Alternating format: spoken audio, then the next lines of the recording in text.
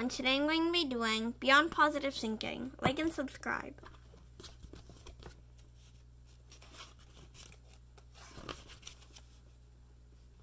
Letting go is not easy.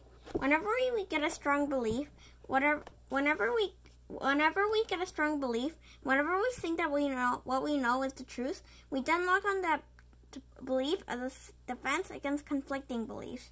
We cannot hold conflicting beliefs in our mind without anxiety or distress.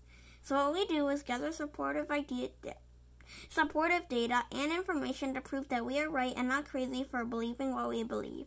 This can work against us in seeking out the truth because we operate in accordance with the truth as we see it and not as it is. Sometimes we hold on to opinions, attitudes, and beliefs that no longer serve us. That's why we must examine our beliefs on a regular basis to see where we might lie.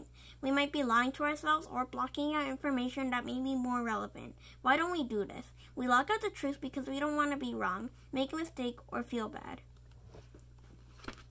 So basically, like you don't want to block out the truth, and you want to like see if what you're thinking isn't like is, is you lying to yourself. And we like block out the truth because it can make us like feel bad or like think that we're wrong or something.